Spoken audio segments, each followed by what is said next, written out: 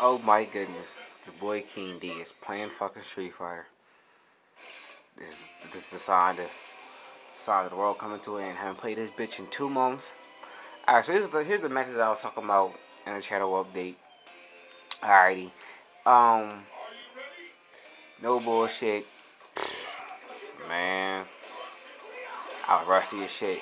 And I don't know why in the world I pick a fucking Gen versus a motherfucker that's a fucking C plus fucking Dudley. And, uh, and my and my thing was this whole fucking fight. This little bitch was fucking. Why you keep away from me? Yo, yo, you got everything to fucking beat me with. Even though you, you're very fucking typical with fucking with a damn Dudley. I couldn't come close to you. I mean, I could have, you know, did some shit, but it's like I wasn't thinking what game, yo. I was playing. I was playing very dumb. I wasn't for this. Be my first match. I should not. I should have not fucking picked Gen.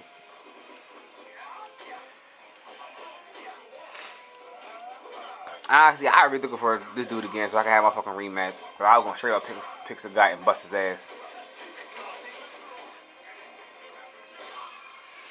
I ain't he had a nice ass back there, so I couldn't. I couldn't. At one point, he really was trying to get a perfect on me. You don't get perfect around here. Now I mean money. Oh nah, I fucked that last hit up. I'm very, very upset with that. And he pissed me off with this shit. What the fuck is that? I mean, you was a real bitch. Look at all that healthy guy. Look at that. Look at that meter he got. He has a full bore meter damn near.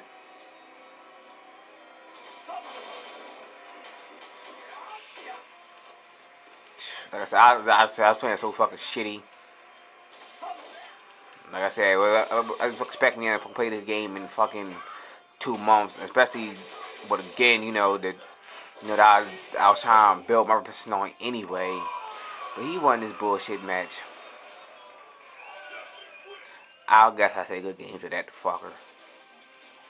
Anyway, next match coming your way in a minute.